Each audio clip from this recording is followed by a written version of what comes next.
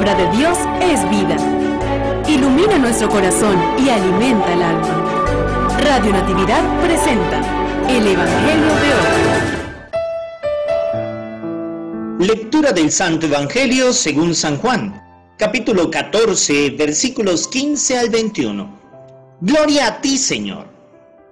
En aquel tiempo dijo Jesús a sus discípulos, Si ustedes me aman, guardarán mis mandamientos.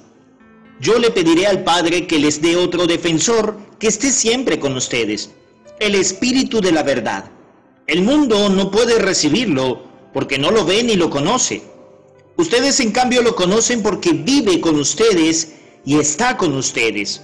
No los dejaré huérfanos. Volveré. Dentro de poco el mundo no me verá, pero ustedes me verán y vivirán porque yo sigo viviendo. Entonces sabrán que yo estoy con mi Padre, y ustedes conmigo y yo con ustedes. El que acepta mis mandamientos y los guarda, ese me ama. Al que me ama, lo amará mi Padre, y yo también lo amaré y me revelaré a él. Palabra del Señor. Gloria a ti, Señor Jesús. Saludo de paz y bien para todos aquellos que nos escuchan a través de Radio Natividad, la emisora católica del Táchira, donde queremos ser parte de la buena noticia de Jesús en tu vida. Hoy vamos a hablar de la ley al espíritu del amor, porque si hay algo que es importante en este texto es esa expresión, el que me ama cumple mis mandamientos, lo amará mi Padre y yo también lo amaré. Parece que amar como que no ha sido comprendido dentro del estilo de la fe del católico.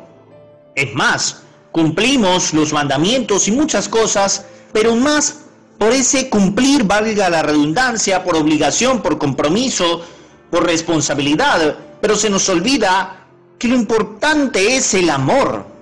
Ser cristiano es hacer de Jesús el centro de mi vida, amarle y amar a mis hermanos con la fuerza de su ejemplo, de su espíritu. Este domingo hay que mirar a Jesús y hacerle presente en nuestro interior, mirarle a los ojos. Él es la única razón que tenemos para seguir confesándonos como cristianos, para cumplir con lo que nos pide el Evangelio y la Iglesia. ¿Qué es más importante? ¿Amar los mandamientos o cumplirlos? ¿No será que los mandamientos son casi siempre expresión concreta de ese amor que debe caracterizar mi vida como cristiano? Hoy, queridos hermanos, Jesús nos plantea una pregunta muy capciosa pero importante. ¿Tú cómo estás viviendo los mandamientos? ¿Por obligación o por amor? Porque cuando se ama, se hace hasta lo imposible y mucho más. Y el amor no tiene fin.